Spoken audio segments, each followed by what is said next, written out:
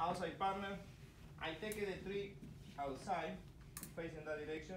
When I start to travel or arrive into the to the third step, to end the third step, to my fourth start curving. And then the fifth is curving, the sixth is curving, the seventh is curving.